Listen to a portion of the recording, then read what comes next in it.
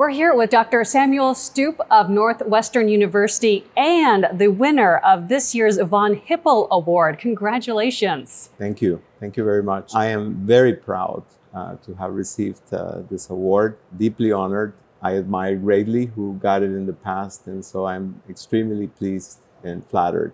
So tell us a little bit about your research and how it's applicable to the world. Well, I'm interested in soft materials and uh, back in the 1990s, uh, I was working on polymers. At the time, I felt that uh, in order to really revolutionize soft materials for technologies at large, you really needed to go beyond traditional polymers. And this is where the concept of supramolecular materials came from.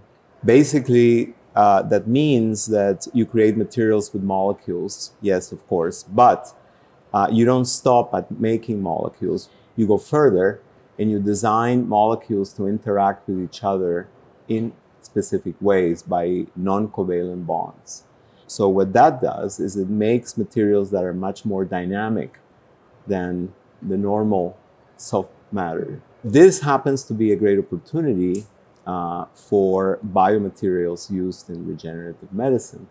We have discovered very recently that um, we can tune their motions within the material. And tuning those motions allows materials to talk to cells more effectively.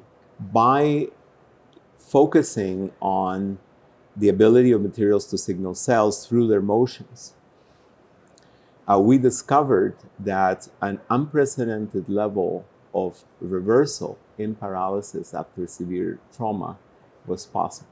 Basically, what we observed is that when motions were tuned to be uh, at a certain level, then uh, the, the, severe injury that caused paralysis basically um, transformed into um, the growth of uh, or the regeneration of tissues in the spinal cord, which is very difficult to achieve. In other words, the, the, the animal regained mm. function and was able to walk normally after being fully paralyzed.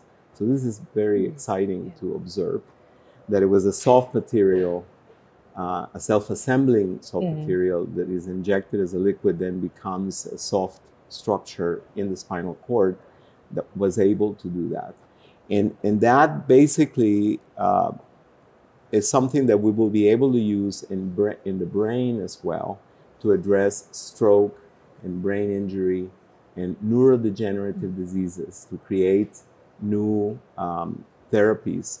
And so having uh, soft materials that can actually uh, restore function in the brain, in the spinal cord, is a huge thing. And it is all rooted in designing them molecularly and supramolecularly, meaning that you design them uh, to interact with each other, the mm, molecules, right. in a certain way, therefore move a certain way, therefore signal cells effectively.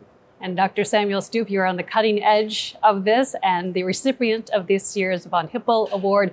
And we thank you so much for talking and sharing all this knowledge with us as thank well. Thank you for inviting me to the interview.